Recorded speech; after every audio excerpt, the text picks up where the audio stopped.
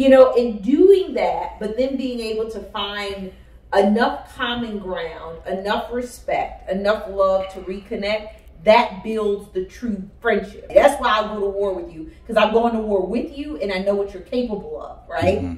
You know, I know the tools you have. We really have a friendship, not in the like a, not in the syrupy sweet way. We have a friendship because we know each other inside and out. We know the things that endear us to each other, and we know the things that scare us about each other. Hmm. And we are willing to have conversations that may be cringeworthy and uncomfortable for the purposes of growing and challenging each other. And that is our sport.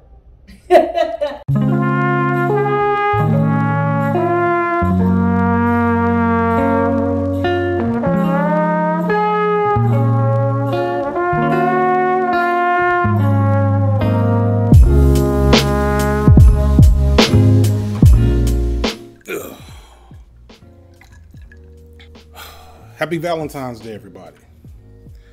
Although this this may come out on Valentine's Day, it may come out the week before. We'll see. Either way, you know, everybody's favorite holiday, and uh, we got a special Valentine's Day treat. You know, a couple of weeks early, the announcement of Rihanna and her longtime boyfriend ASAP Rocky having a baby. Congratulations. Thank you. Congrats. Thank you. I know Chloe's probably feeling. Congratulations.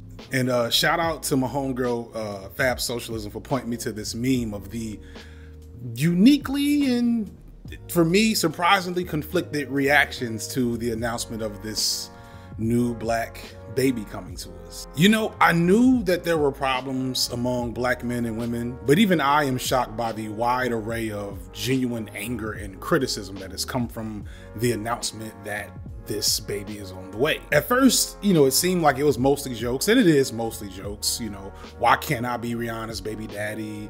We ain't never getting a new album now, etc. And then I learned that some people were taking issue with some of ASAP's previous head ass comments about colorism and Black Lives Matter and things along those lines. And I get not being a fan of him because of that. Makes perfect sense.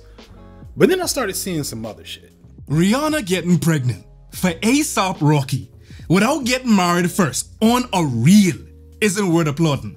Celebrity or not, the right thing to do is get married before having kids. The world has normalized baby mama and baby daddy like it's a dignifying status. God help us all. Young black girls seeing a wealthy, beautiful, and successful black woman that chose a man that looks like a teen boy. ASAP has zero manhood characteristics, like being a protector and provider. ASAP wants to be provided for. See, this is why they say women keep women single, okay? You all just applaud one another's behavior. You validate each other's negative behavior. This is why people like Lizzo feel empowered to act like an ass. At this point, I have lost all respect for black women. It's a sadist, masochist relationship. All I can say is that they most enjoy being abused, and black men enjoy abusing them.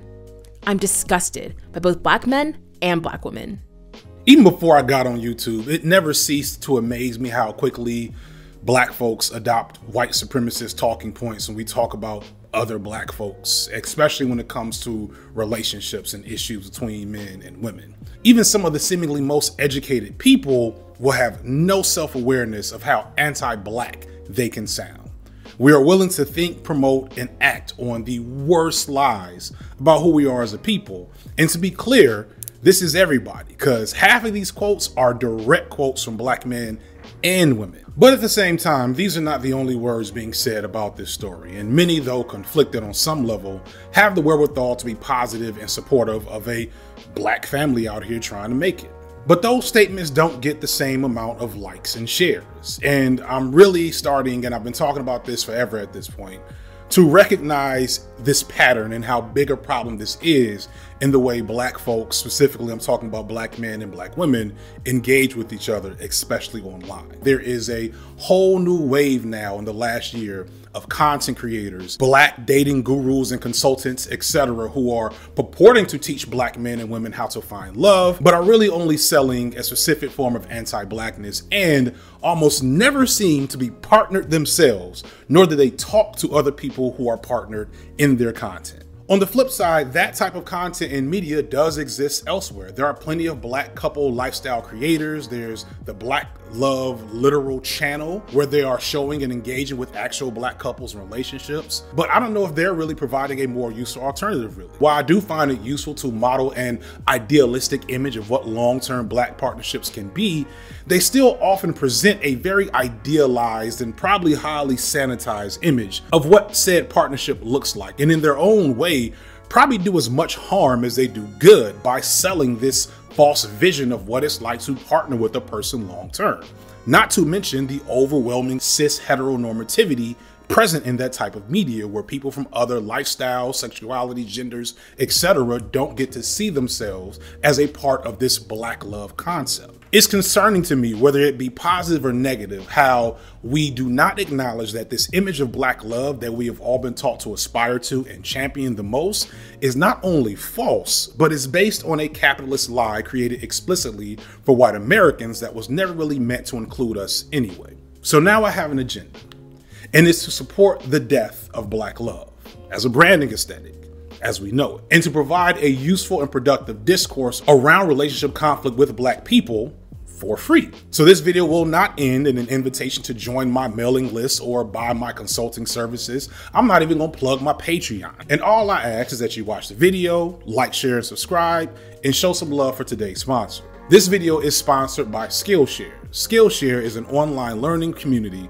with thousands of classes and members from over 150 countries across the world, with everyone coming together to learn, teach, and inspire one another on a creative and personal journey. What Skillshare is basically is a learning streaming service that allows you to get new skills while finding inspiration on what to use those skills for. I had been hearing about Skillshare for years as an avid consumer of YouTube. And amazingly, Khadija Mbowe, who I give so much credit for supercharging my career, did a video months ago where they offered free membership to the learning community. And that helped me rethink my entire recording setup to how to maximize my minimal access to equipment and expertise and turn my dining room into a mini set for me to record on. Skillshare can teach you a bit of everything from video editing, lighting and sound, as it did for me, to home coffee brewing, cooking, etc.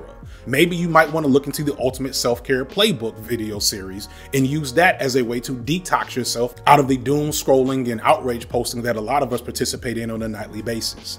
Whatever the goals or interests you have, there are classes and people available to give you a boost in pursuing those things. We're at the beginning of 2022, and I know if you're like me, then you set certain goals at the beginning of the year, and we're already one month down, so why not start February by investing in a new way to pursue those goals? New classes are added weekly, the entire platform is ad free, and for non English speakers, the classes have subtitles in English, Spanish, French, Portuguese, and German. But the real kicker is the difference between what I'm offering you here and what other folks are offering you in their self help videos is that the first 1,000 people to click the link in the description for this get to sign up for one free month to see what the platform is all about. I'm charging you nothing but time and opportunity at this point. I really hope that those of you watching this take advantage of the free trial and use the platform to pursue something that serves you and adds value to your life. Thank you to Skillshare for sponsoring the video. Now let's get back to the topic at hand.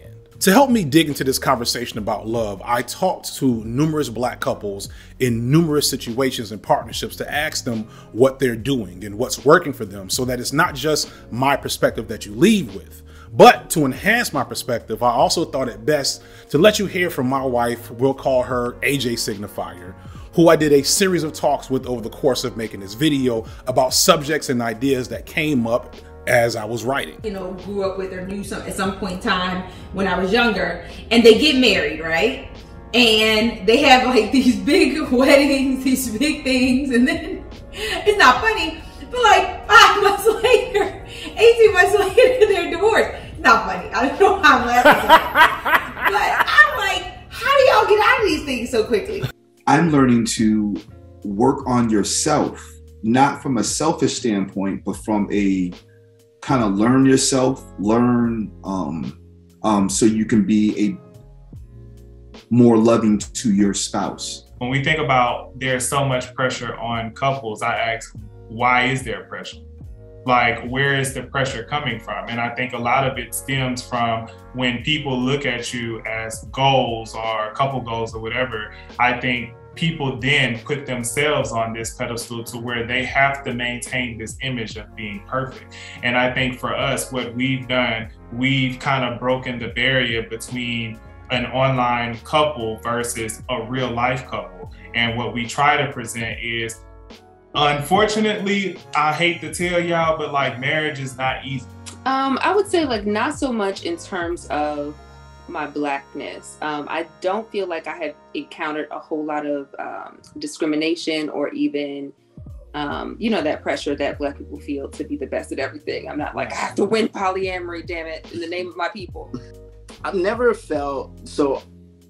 When I was doing the blog about my polyamory, it wasn't. I didn't feel any pressure to do it to present for anybody else. And I've never felt like, oh, well, we need to represent what Black and Poly looks like for the world so mm-hmm. y'all can see. So first, let's tackle the juiciest morsel on the plate and engage with something that these black dating gurus often seem to have in common, so much so that you think they get along perfectly, which is this unyielding fervent investment in white patriarchal constructs of gender as the framework for how we shape our relationships as black people. If there's one thing I'll never fully get, and I've said this numerous times at this point on this channel, it's how duplicitous black folks can be in our greed need to dismantle white supremacy, but our ringing endorsement of white patriarchal frameworks for how we form our partnerships. And it's not even like a wink and a nod to the idea that we know we're doing something that doesn't fully fit or serve us because we don't have much of a choice. And I get that. And I'll talk about that later.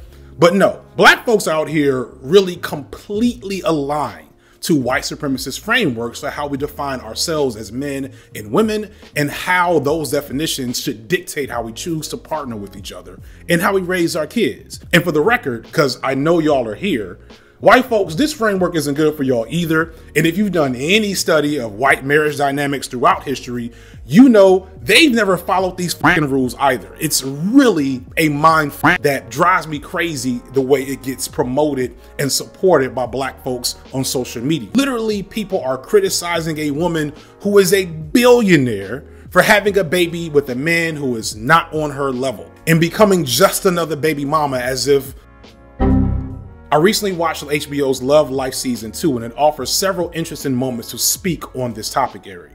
Love Life stars William Harper Jackson and Jessica Williams as Marcus and Mia, and looks at their long, winding journey around, apart, and back toward each other to what amounts to be a very normative manifestation of a long term partnership. They end up being a monogamous, heterosexual, idyllic family unit but at least on the way there, they give us some things to chew on. One thing I love about the show is how it examines parts of black love that aren't as easy to sell or make outrage content over. Things that we often feel and know, but don't often vocalize around this concept of black love. For example, at one point in the show, our main character Marcus has a relationship with Ola, played by Ego Nwodim, which typifies the falsehood of black love as a commodity and the precarious nature of holding patriarchal values as a key to partnership. Marcus and Ola meet, and Ola is faced with a professional crossroads, which jeopardizes her ability to be self sufficient.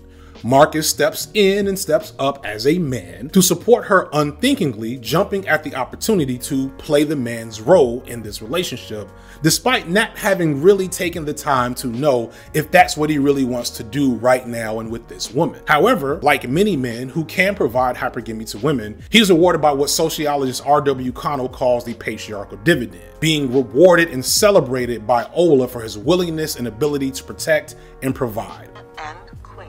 Oh, Marcus, my king. Nothing seemed to work. How's my king doing? What I'm looking at right now? Black love. Supportive, strong, beautiful, black love. Ola calls him king and chris's their relationship as black love, ready for capitalistic consumption and sale to black people across the country. And for a second, it works for Marcus. But we as the viewer know that up until this point, Marcus is still recovering from various heartbreaks and is definitely in need of a lot of emotional growth to ever be successful in this type of partnership to find fulfillment in playing this role. Further, Ola is so busy celebrating Marcus's ability to perform patriarchal masculinity that she's missing some very obvious cues about how unfulfilled he is in this role. Marcus gets so alienated from this emotional connection to Ola that he becomes unable to perform kingly duties, if you understand what I'm saying. I used to think that I excited him, that I completed him, but he was lost. so was his manhood. Having failed to fully uphold his obligation as a high value man, Ola reneges his patriarchal dividend and labels him a boy instead. You're not a king. You're a little ass boy. Melvin, look at this little ass boy. Snatching up a black queen, then treating her like a toy. He's not a king, he's a little ass boy. Can't tell the truth, can't experience any joy. Women, if you meet him, you better run. He'll waste your time. You ain't a king, you a little ass boy. This little ass boy. Little ass boy. Little ass boy. My little ass boy, my little ass drink for my little ass boy. A little glass vial? A little glass vial. And, and I love how low key Marcus doesn't even care. Like he's just so down. He don't even get mad. He's just like, maybe I am a boy. Oh well. So much is often said about supposed high value men, and it's always so incredibly shallow from our perspective as a great value man and it feels dehumanizing, and the show depicts this. Ola does something that I've mentioned before when talking about Lawrence from Insecure, and trust me, we'll get to him. She projects the high value archetype upon Marcus because he's a decent looking brother with a good job. On one end, I empathize with Ola, who has a dream and is looking to her partner to help support her in pursuit of that dream. That is one of the best parts about being in a committed partnership. I understand the reasoning of why Marcus would unthinkingly jump in to play that man's role in their relationship. It feels good as a man, especially a black man, to have access to this imagery of patriarchy, even at a relatively lower level, when so many people think you're incapable of accessing it. It is something that I know weighs heavily on a lot of black men's minds. But it took me to step back and realize I one had to have a different approach, and two, I have to understand that this is this is her ideology. So I can do what I do, but I have to dial it back. Just had to find ways that you know it, it it's equal. That's one thing about Kayla. Kayla is very she had equality is a thing, uh, regardless of what body part you got. Equality is a thing, and you know I just try to make it as equal as possible, while also not compromising my ideologies too. And understand that just because this is maybe what the origin of it was doesn't mean that's how he treats me. That's how he views me um, it's because he views me in a respectful way. It's because he loves me and because he see me in this light that he wants to take out the trash and he wants to do this, and the fourth. And it's not just gender roles of, oh, I should be in the kitchen cooking while you work out there and do this, that, and the fourth. So it's just been trying to, one, help him understand where I'm coming from, and two, not take away from who he is. Like I, I, I hang with people that kind of like constantly keep elevating their life, and you can't be a part of a crew and not elevating because you're seeing other people elevating you not that make you feel awkward. And I just didn't want to be a person that's like don't fit in when it come down to being able to like take care of my family, uh, provide for my family. So I just wanted more.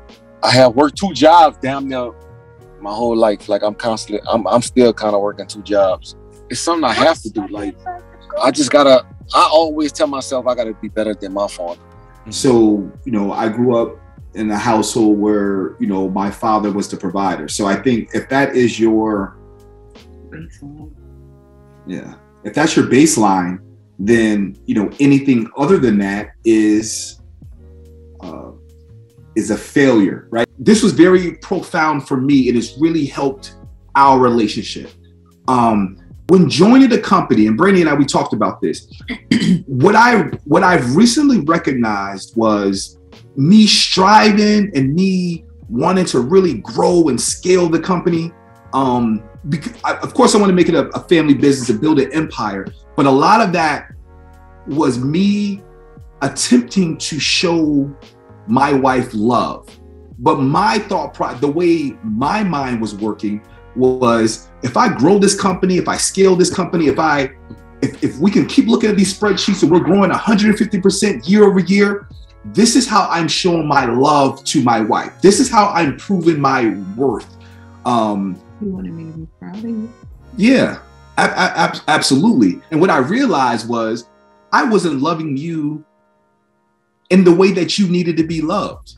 At the same time, as I said, we can't just completely divorce ourselves and thus our romantic partnerships away from how economics and capitalism constrains us. And, the, and for black women, the stakes are really a lot higher than all of us often understand sometimes. Black women are the most likely of any racial group to marry a man who makes less than them, which makes sense considering the barriers put up against black men for them to access personal capital.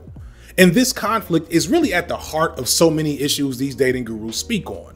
At the end of the day, when it comes to the discourse around black men in these dating guru circles, it's about how black men cannot provide a normative image of patriarchal and hypergamous partnering. It's just that both of them come from different angles on what the solution to that is. And insecurity, anger, and frustration and bitterness all swell in the responses to this issue of black people trying to run in a race that wasn't designed for us to win. The range of outcomes with black men and economic viability makes it so black women seeking to partner exclusively with black men have to figure out a lot and have to compete for, relatively speaking, a smaller amount of men who are accessing that high value man status. And it's really important that we empathize both with the black men struggling against the constraints of white supremacist patriarchy, as well as black women who are experiencing life both as women and as black people and facing their own unique form of oppression. But we don't empathize with each other because that doesn't get clicks and shares. We operate on these binaries where black men are either fuckboys or good men, and black women are either submissive or have masculine energy. And it's no wonder that none of these people ever find love until they get off these fucking sites. Just, just, just saying. I think I'm more empathetic than I was. And I think because I I while we were together, I got my social work degree and I think that helped me sort of figure out how to navigate challenging conversations. I have always been really ambitious. Um and I'm sure you're familiar, but just being a black woman, I was always taught that that is I had to. Like if I in order for me to get just a little bit of what I wanted, you know, I mm. had to do more. I had to be better. And so I've always been very ambitious and a high achiever. And in our relationship, I also I always felt supported. I know that sounds corny, but like it it just it just kind of worked out. try and understand things from her point of view. And like I said, I, I've not always been able to do that, but I've always tried. And I think that's what she's been responding to is uh, she could see me trying to figure things out, trying to understand things from her perspective. Yeah, there there were just things that I just couldn't get, and there's still things I just can't get uh, because there are experiences that I am never going to have. really cool about being poly in that you have partners who have been around how do I put this? Basically, who have been around for enough years that they've seen you grow with other people and with them, which is one of the coolest things ever. And I don't, I don't, I feel like we don't talk about that enough in the polyamorous community. It's great that we can have conversations where it's like, oh, do you remember when I was dating so and so and I did this terrible thing? And it's like, oh, yes, I do remember. Let me never do that terrible thing again. Thank you for calling me out and harkening back to that time I did that. Or even like, hey, remember when you were doing this terrible thing and now you've stopped doing it? You can see the growth, but sometimes it's hard to see growth when you're your own individual. But when you have a partner who's been there for four, five, six, et cetera years, who's seen all of these things and can say, no, hey, I, I actually see the growth. It might be weird for you to see because you're in your own body, your own head. It's very increment incremental to you. But like I've been sitting on the outside and I can see it and I can help contextualize that for you. if you're making a choice about your own willingness to heal alongside someone or your willingness to heal alone both of those have to be both of those have to be done in the context of self-compassion and when you offer your self-compassion then you're better able to stop evaluating people out of this lens of perfection you're hoping for that unicorn of a black man forgetting that he went through similar trauma spaces he went through uh, racism and classism and whatever other isms might impact a black man. And you have no compassion for that because you don't have compassion for yourself. And that's not to say to settle. I'm saying focus on all the areas where you're still hurting, yeah. all the things that continue to trigger you. Likely because you haven't been offered compassion, it has not been mirrored to you. But if you don't establish a practice of self compassion, it's going to be really tough to attract the type of man that can then, one, offer you the type of things that you're interested in receiving and do it in a compassionate way, not a manipulative way. And it, it takes a certain level of maturity and self actualization to be like, hold up, everybody is coming in and golden. Hold on. Let me spin this back. Pause. I need some self actualization time, some alone time. Then I need to come back and readdress this dating thing with what have I been missing? What what do what do I find attractive? What don't I find attractive? And then ask yourself why. My filter wasn't up. And so as I start clicking the drop down filter on different things and start looking at a woman as a whole human being with all of these different millions of attributes, right. So I started to see more and more who I wanted. We got to a point like where we were just fighting all the time about nonsense. And now I was the one starting the fights because there was some a lot of displaced anger towards him that I didn't even realize was there. Being in therapy has helped me find ways to help um, have better conversations with him, have um, yeah. be able to communicate with him better as far as like things that I need or just kind of redirect behaviors that I was doing that weren't healthy. It's definitely been a lot of sink or swim moments. Um, especially this decade. This decade is rough. Like I'd be looking back like, yo, you still in a relationship with your person or people, and you got in a relationship from 2010 to 2020, shout out to you because this this shit has been crazy. um, and I think instead of like trauma bonding, what we've done is we've tried to like evolve together.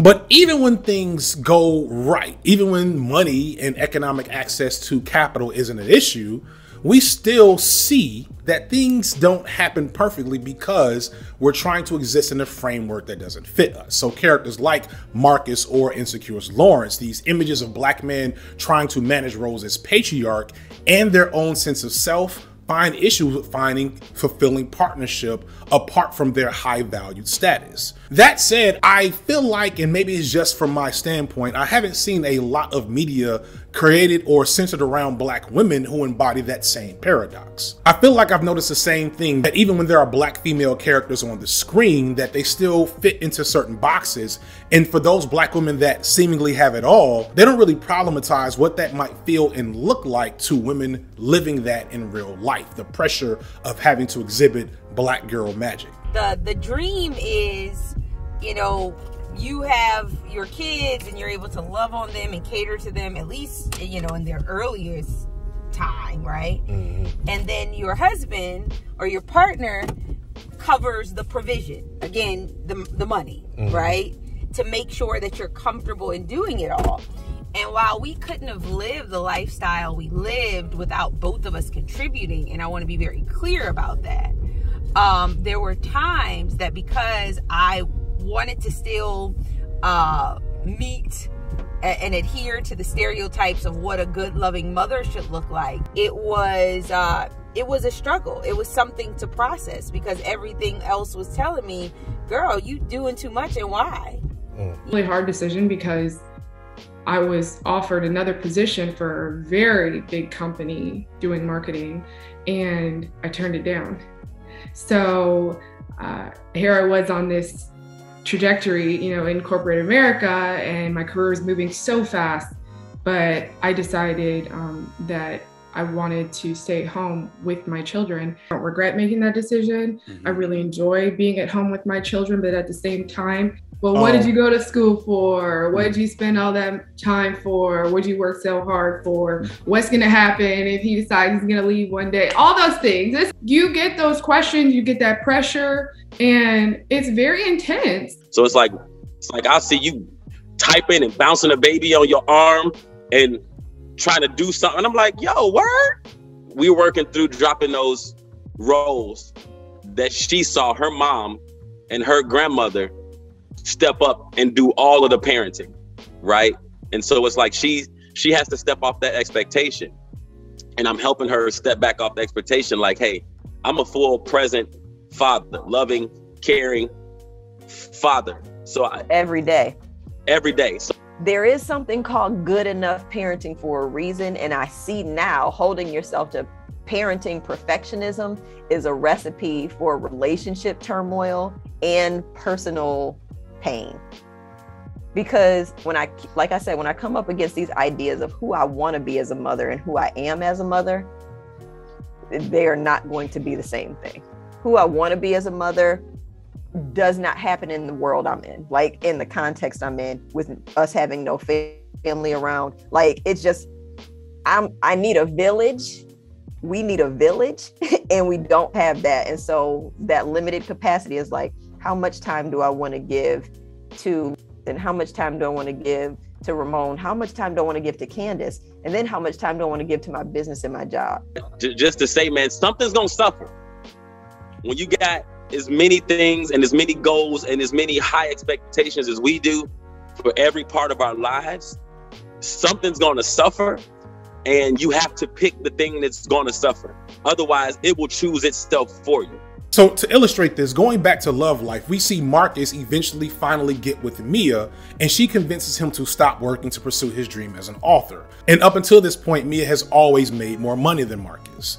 In exchange for this, he takes on the brunt of childcare, though partially it's an excuse to avoid the fear of failure as a creative. Eventually, Marcus is successful at writing his book and clearly comes up, and he offers a similar opportunity for Mia to leave her job, which seems ideal, right?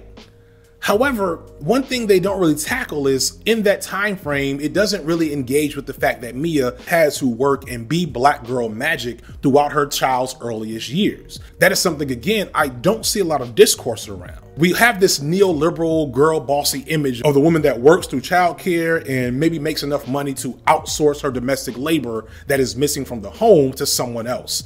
And while that's fine if that's what works, it doesn't engage with what it feels like to be a mother who has to leave their child to be in an office, especially for black mothers, for which motherhood historically has always been a complex and perilous reality to face. Are you fucking serious? Condola, stop acting like I'm a fucking stranger. I'm his father. And You're barely ever here. And you never check in, not about his swimming or food. And you don't even give me more than three hours notice when you're not coming. I have a job. And you moved away. Yeah, to take a job I already had before you blew my life up. Blew your life up. Yeah. You are not a fucking victim. Well, you made a decision without me, and now you're trying to use it as an excuse to keep him from me. Wow. How do you feel about Lawrence from Insecure?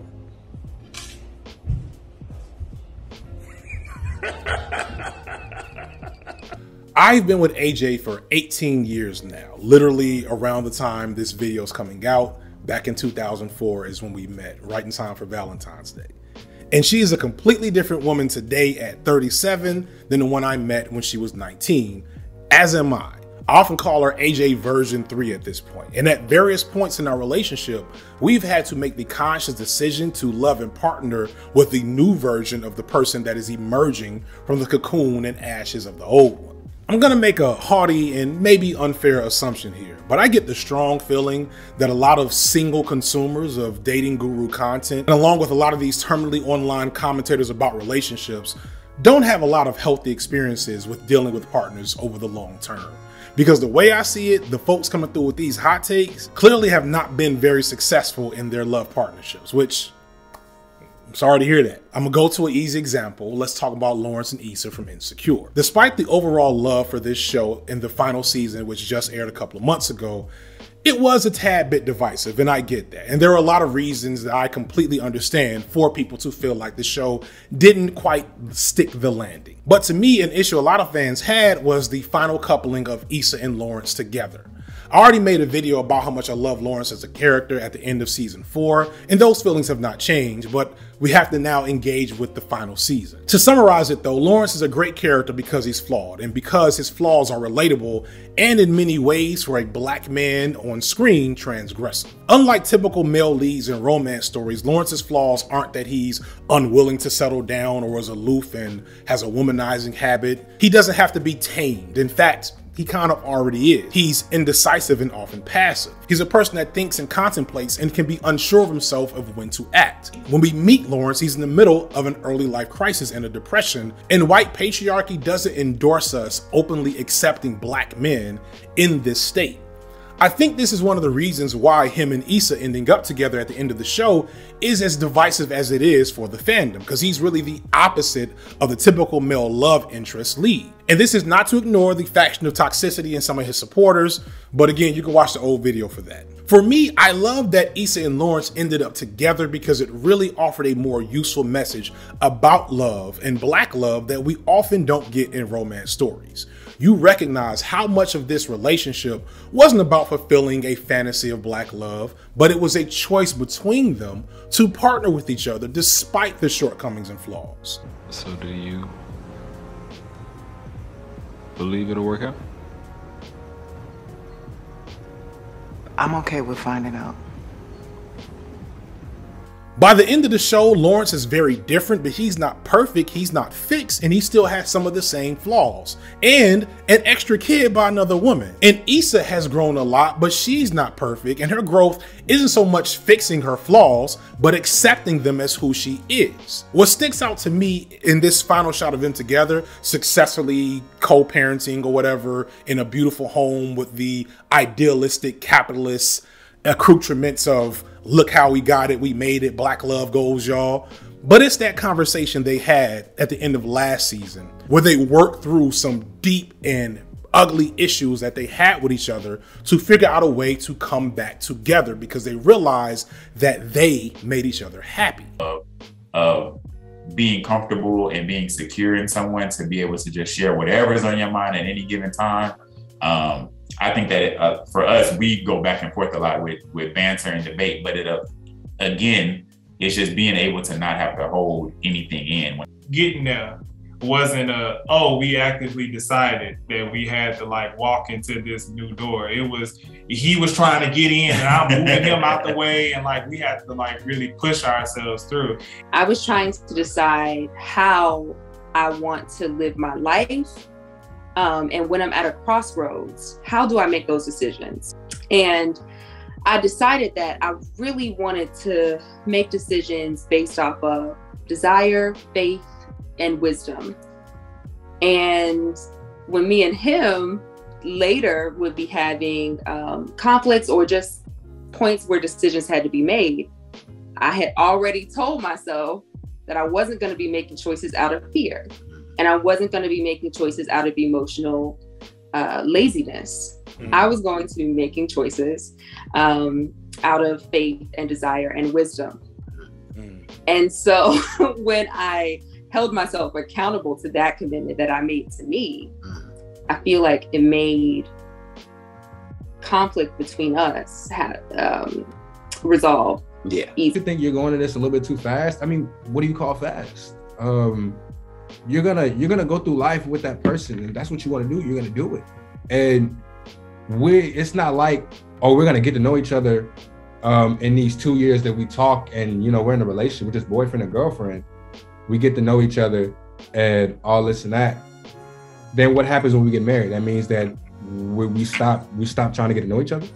Is, is that what that means? Um because i'm pretty sure there's still a lot of stuff you're finding out about your wife. Like it's and these are things that that's what keeps the relationship alive. I mean, there's a lot of things that keep it alive, but that's one of them. You know, you just keep learning over and and it's that's the best part of it. You know? Conflict doesn't get enough attention in terms of how we think about love. Like we will see plenty of fights and romance stories and dramas, but we never get to see the conflict processed and resolved in a way that reflects the nature of what it's like to partner with another human with flaws and issues and traumas. But you know what movie I think does do a great job of revealing how hard and ugly this can be? A movie that I've loved but been scared to bring up for the last year because everybody else hated it.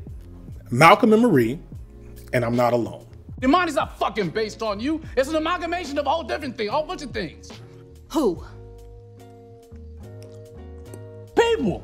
What? People. This because you know Malcolm and Marie is not a beloved film, not very popular Yeah. to the internet folks. But how did how, how did I almost want to watch it no, we don't abuse each other. No, we don't. You know, all those things, right? Yes. We banter like that. We we go back and forth. We match wits. We psychoanalyze each other, even though we have no, we don't have the credentials. No credentials. so. Um, I have diagnosed him with a many of things, and he has done the same. I stand by said diagnosis. Aside from the abusive language and the unhinged eating of macaroni, my wife and I connected deeply to the profound conflict and ugliness put on display in this movie. A type of conflict that can only happen in a relationship that is imperfect and possibly even unhealthy. And I saw so many think pieces about how toxic this relationship was and how obviously the problem was Malcolm, which is easy to identify because, you know, it's always the brother's fault. I'll just say two things can be true at once. While these are all fair criticisms, it's shallow from my standpoint, and it really misses the point of the film. Don't get me wrong. I wouldn't want to have these types of issues or these types of fights. However, I have. Because at the end of the day, Malcolm and Marie only give a glimpse into addressing that type of conflict on one night. And I was grateful to the film for putting on screen something that is rarely seen the image of just how brutal long term partnership can be. That only a person who has been with you for years, who's seen you at your lowest, who knows your deepest insecurities, can destroy you in the way a long term partner can. Love is not safe. In fact, it's the opposite of that. You share bills, a house, a bed. That person is a liability. They are uniquely positioned to hurt you, and you have to be okay with that. That is the reality of what all of you say you're looking for. You might be the first woman I've talked to where most of the black women that raised you were married. Um, and have been married. Like not too many divorces. I don't. I don't think. I mean, So in my mind, that kind of made it real. You know, this is not for play. This is like if you are married to a person, then it's like a different level of acceptance, a different level of protection, a different level of everything, a different level of loyalty because their commitment. And I, I just think that that's just what I saw. just going my own area. Like I be needing my own space. So like if she get on my nerves, she probably gonna be in a she could probably be upstairs, I'm downstairs. Uh me, like I go somewhere, I go sit at a bar or something, uh, whatever. Like I just find a way to just like get away for a minute. What brings me back, like once I leave, I start missing her.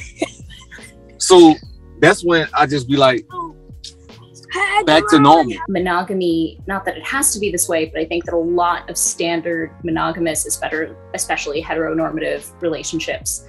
Um, you don't have to confront as much conflict as soon or as often right away in your relationship. And you can kind of just float by in a prescriptive way. Your your relationship ages much faster.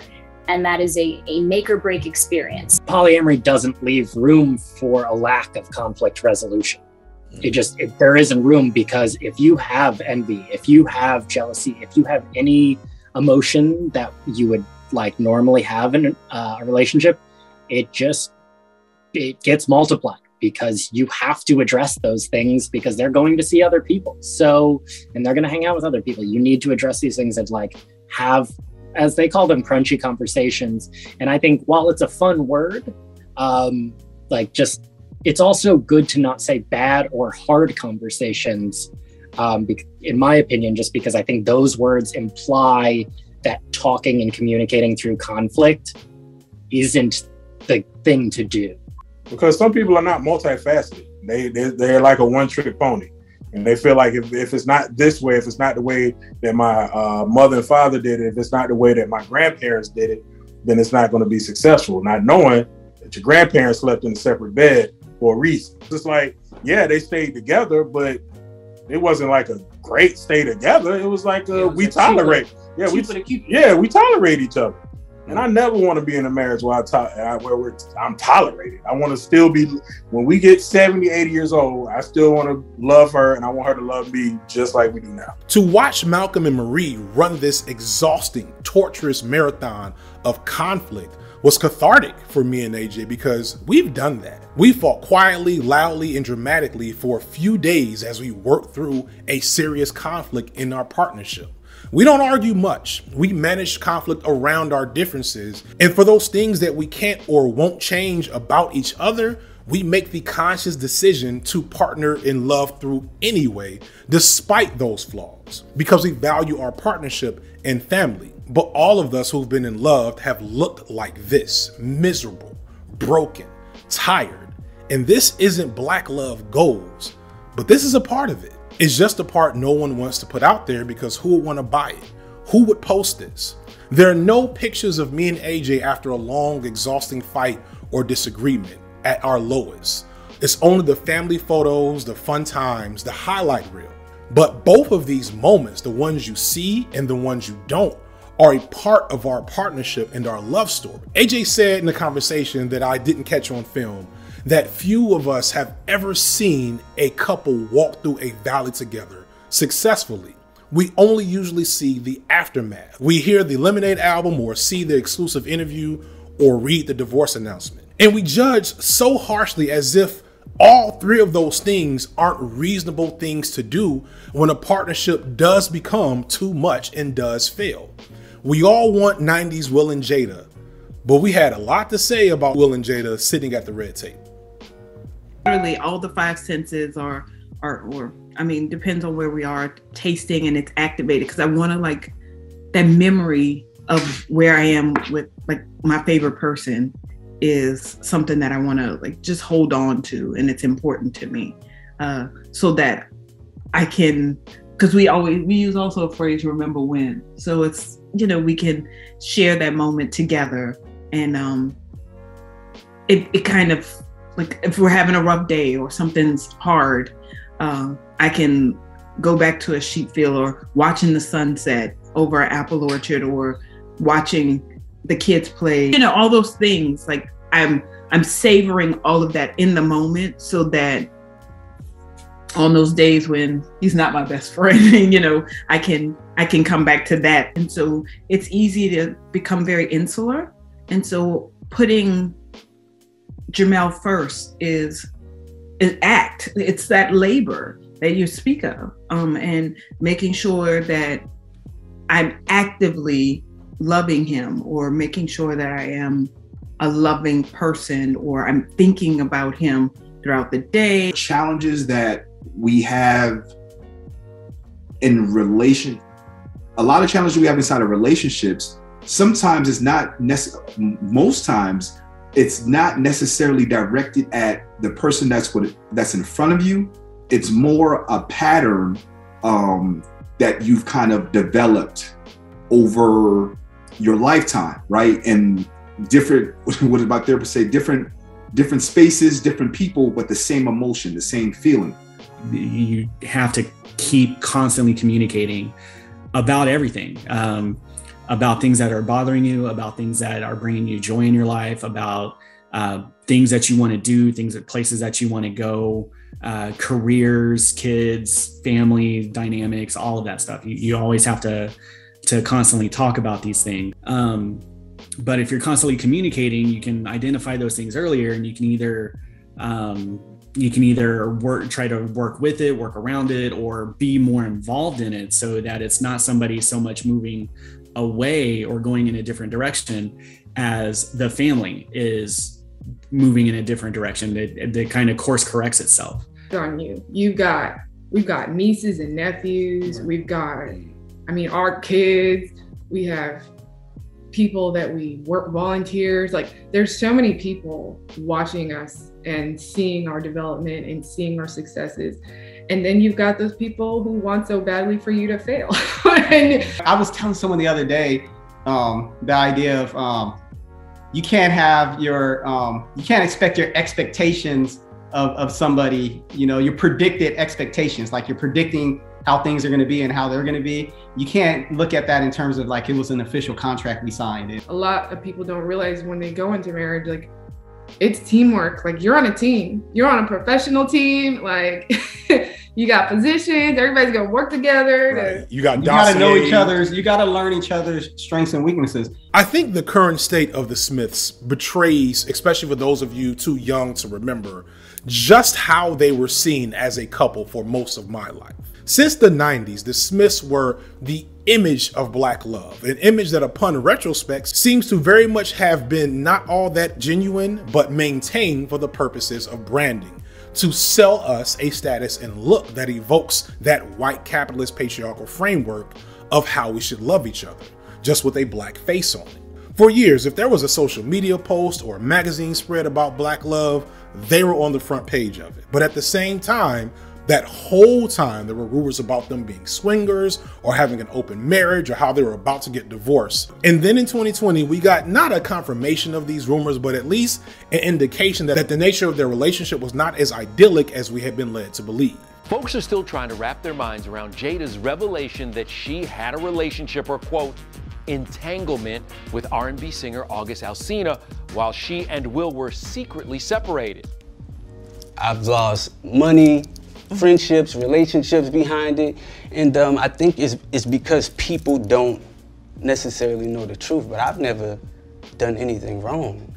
Jada admitted to having an entanglement with singer August Alsina, although stating that it was when she and Will were not together.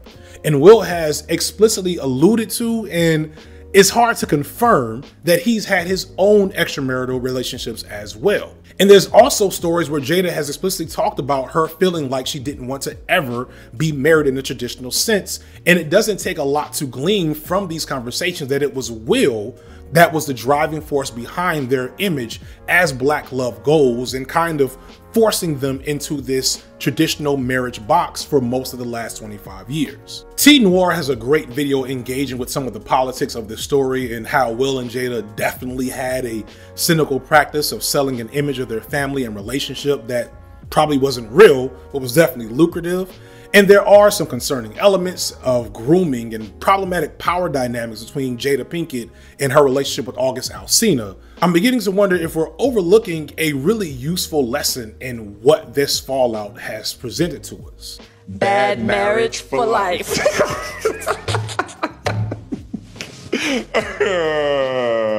okay, wait, just hear me out for a second.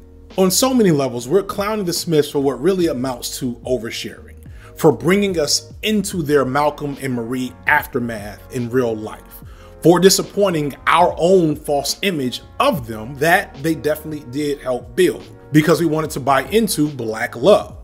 But if you put away your judgment for a second and you disabuse yourself of the nonsense that we keep hearing from many of these gurus and their followers, what you're seeing here is the raw reality of what it means to partner with a human long term to commit yourself to the labor of maintaining an intimate and conditional relationship with the person. For the most part, we often hear people talk about unconditional love, and it's even a phrase I've used a lot of times. But as I progress in my own marriage, I realize that this isn't, to me, the best way to look at what real love in a partnership kind of needs to work as.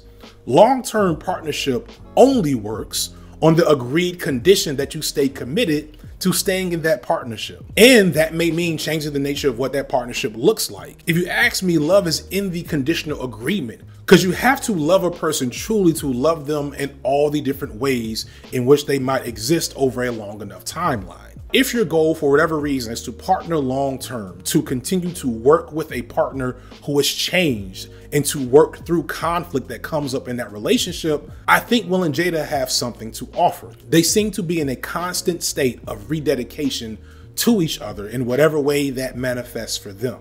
And witnessing that is more valuable than any Jet magazine cover they've had for the last 25 years. Because, like, here's the craziest thing about this moment that we've all memed to death myself included. After this all happened, Will and Jada had already worked this out.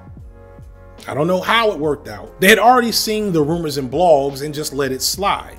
This was not new to them. And behind the scenes for them, it was done. And it was definitely Jada Pinkett's fault that they were in this predicament. And nobody would have blamed Will for letting Jada address this on her own.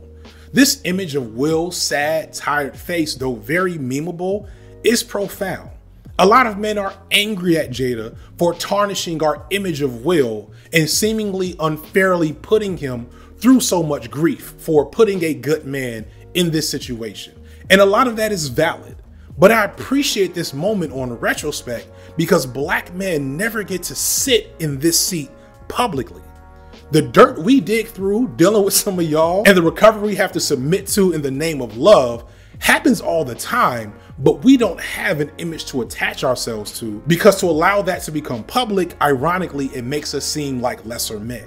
Even though behind closed doors, we all know that there are a lot of men out there dealing with just as much conflict with their partners as there are women. So, just as we should not be judging black women in the public eye who have had to hold L's from problematic partners, I'm not going to judge anyone anymore because, on some level, Will's face, this face right here, this is black love. Many of these couples we've heard from today, my relationship included, have dealt with a lot to maintain their partnership financial challenges, infidelity, infertility, health crisis, blended families, etc. These are not bugs of long term partnerships, they are features. And from what I could gather from them, myself included, the journey has been well worth it. The research shows that strong, intimate partnerships can have a significant benefit to people's quality of life. And it's pretty clear from any comment section from these dating guru videos that their advice will make you miserable and keep you single, unless, of course, you buy their services. Funny that.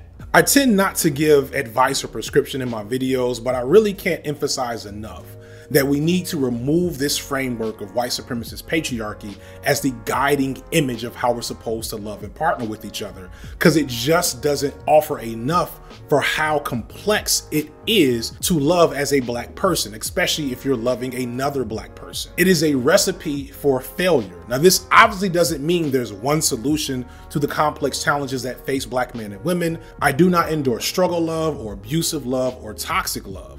But I also don't believe that any type of love exists that is not a struggle. What I'm saying is that we should be avoiding the frameworks of partnering that don't serve us individually and be careful in assuming that any particular framework serves you just because it has a strong social media presence. I'm not going to go as far as to say to stop engaging with your preferred black dating guru if it truly serves you to consume that. Just consider that at the end of the day, if they're selling you on this white supremacist framework, it won't work. And I pray you find something that does. And lastly, consider abstaining.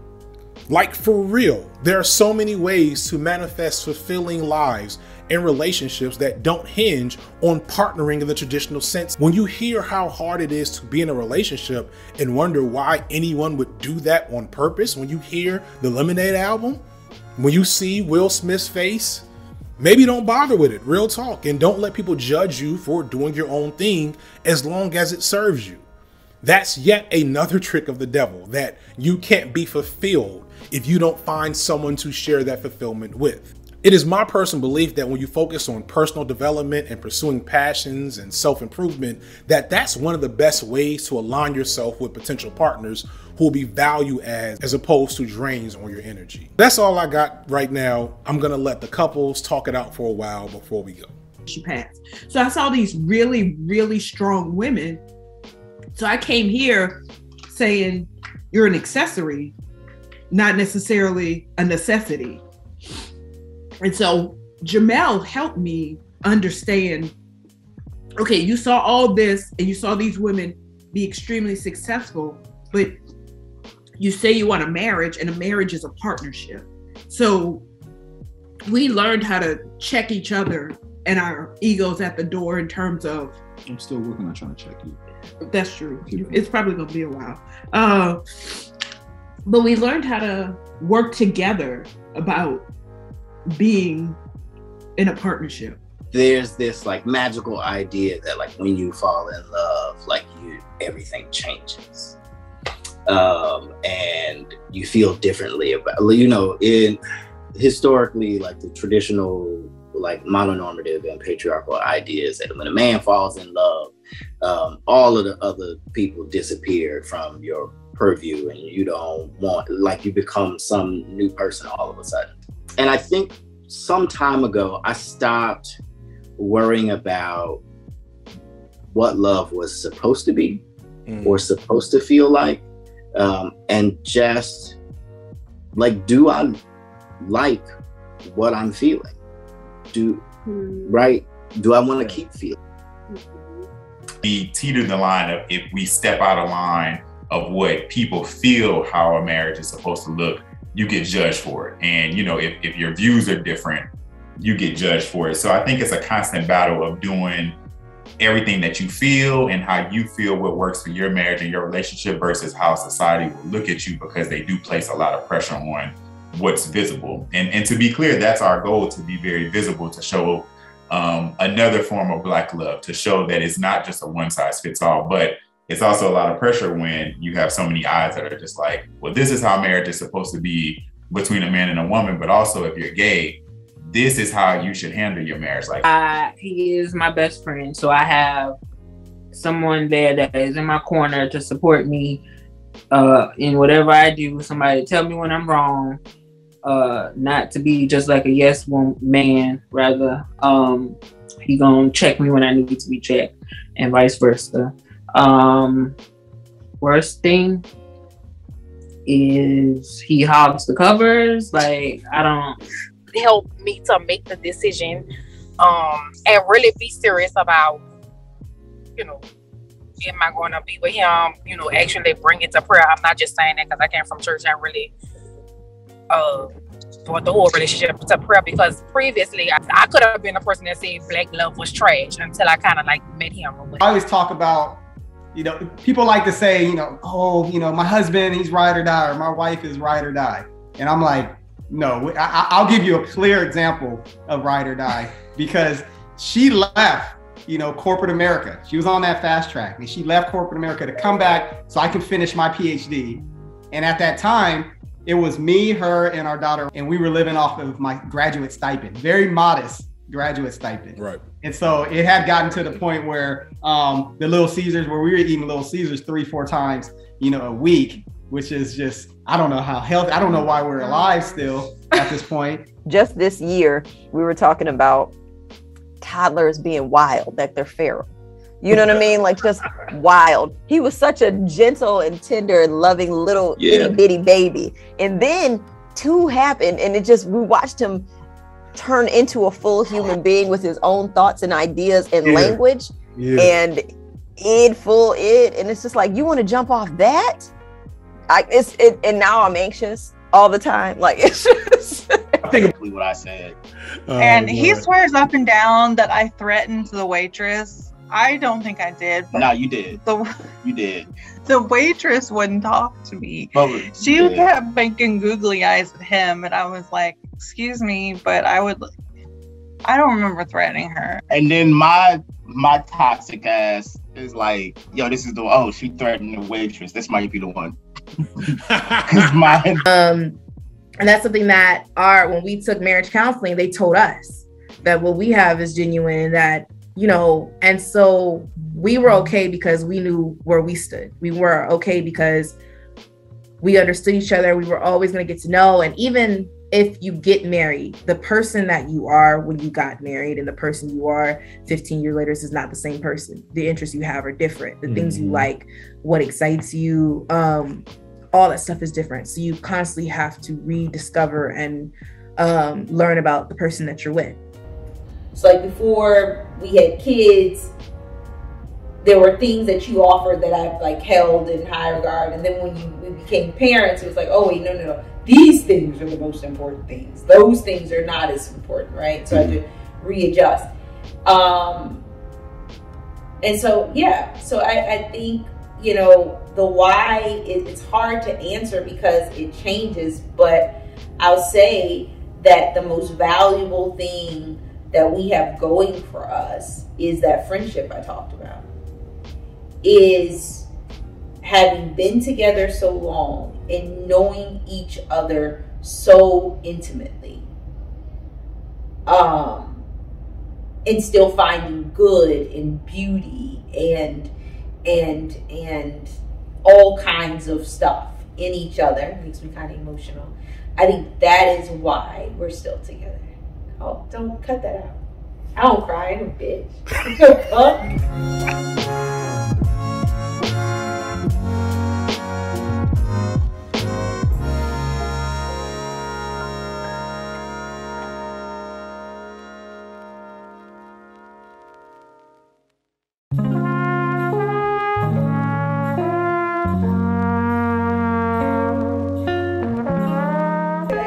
I'm gonna put under the. You, you gotta. You, I just got to show later. This is for the after credits. I did not plan that amazing moment AJ Signifier just gave y'all. She just loved me so fucking much. She couldn't help herself. It's it's just. All right, now let's drink our coffee. Okay, let's drink our coffee, babe. I'm sorry. I had another. Fun. You know what I'm saying? What made that crystallize in your head? We need to, um, um, a moment of prayer for Kent. But anyway, he over here saying crazy stuff.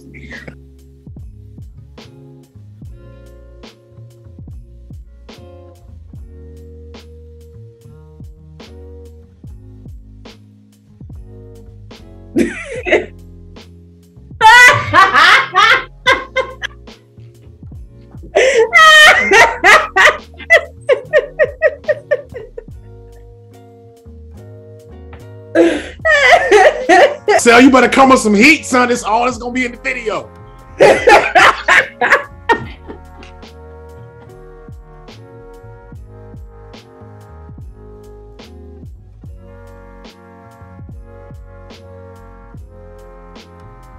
any other space and that comes that comes for me through us saying all right after we had this argument this is what i saw your ego doing. What did you see mine do?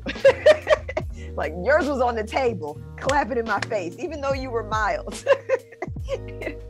Your ego said f you and your mama you know like and like we can we can read each other like that because we're both, both intuitive and laugh at the fact that we were we were poised as we could be through the conversation but we know what the frequency was even if we were we were trying to be gracious